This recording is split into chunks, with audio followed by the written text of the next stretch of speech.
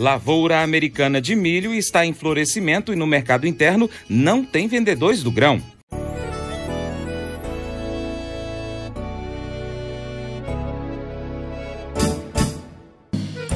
Acordo de manhã para prosear no mundo do campo, as notícias escutar.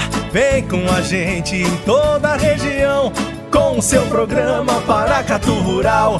Tem notícias, informação e o mais importante, sua participação. Programa Paracatu Rural. Programa Paracatu Rural.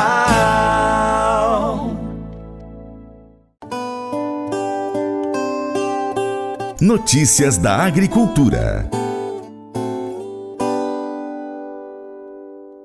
O milho fechou esta terça-feira, dia 30, último dia de junho, com forte alta na Bolsa de Chicago. De acordo com a consultoria Safras, o mercado disparou após divulgação do relatório de plantio do Departamento de Agricultura dos Estados Unidos, o USDA, que prevê área menor que o esperado. De acordo com o sexto boletim de monitoramento agrícola produzido pela Companhia Nacional de Abastecimento, a CONAB, a primeira quinzena de junho foi caracterizada pelo retorno das chuvas na região sul, parte de São Paulo e do Mato Grosso do Sul.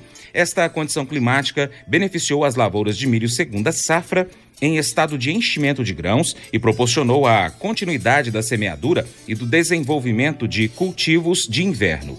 Na região do Cealba, nova fronteira agrícola que engloba Sergipe, parte de Alagoas e Bahia, as chuvas favoreceram a implantação e o desenvolvimento do milho terceira safra. Ainda de acordo com o estudo, não houve precipitação na região central do país, assim como no Mato Piba, Maranhão, Tocantins, Piauí e Bahia, o que é normal nessa época do ano. Esta condição favoreceu a maturação e a colheita do algodão e também do milho segunda safra. Por outro lado, áreas de milho segunda safra plantadas fora da janela ideal e que ainda se encontram em enchimento de grãos podem ter sido prejudicadas, principalmente nas regiões onde a umidade do solo estava mais baixa. Já na região sul, em parte da região norte e no leste da região nordeste, houve chuvas durante toda a primeira quinzena de junho. Isto favoreceu o desenvolvimento do milho terceira safra na região conhecida por Cealba e do milho segunda safra, ainda em frutificação no Paraná. Essa condição também foi favorável para o início do desenvolvimento dos cultivos de inverno na região sul. No Mato Grosso do Sul e em São Paulo, as chuvas do início do mês trouxeram alívio aos produtores. Entretanto, a média diária do armazenamento hídrico no solo durante a primeira quinzena de junho ainda ficou abaixo de 25% na maior parte de São Paulo, no leste e centro-norte do Mato Grosso do Sul. Já no sul, o índice de umidade ficou acima de 40% durante todo o período em praticamente toda a região. Segundo Vlamir Brandalize, a lavoura americana está em florescimento dentro da estimativa. Já no mercado interno, o milho não tem vendedores. Com relação ao milho, as lavouras estão em florescimento, 4% de florescimento, a média é 7%, está próximo da normalidade, o ano passado era 2%. A qualidade das lavouras é boa também.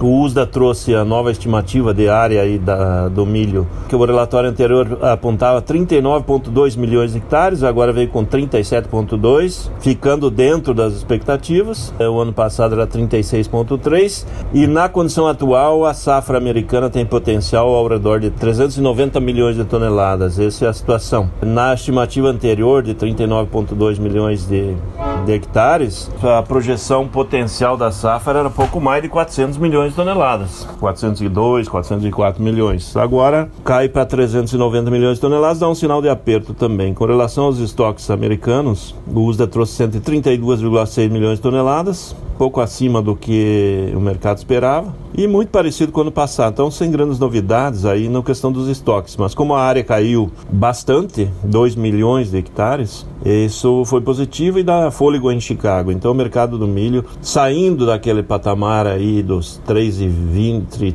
3,30 para cima de 3,30, já olhando para mais aí as posições mais curtas de julho, trabalhando acima de 3,30 já e com fôlego positivo. No mercado brasileiro, os portos aí na faixa de 49 reais, 48,5, mas não tem vendedores. Os vendedores querem entregar os contratos, estão colhendo a safra para voltar a negociar depois. Então é essa a situação. Ver mais? Pode enviar para a gente uma mensagem no nosso WhatsApp 38 991810123. E ó, pelo WhatsApp nós temos diversos grupos.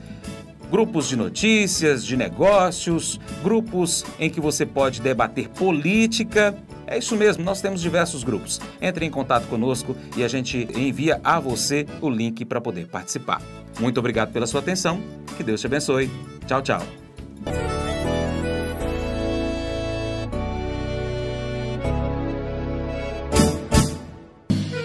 Acordo de manhã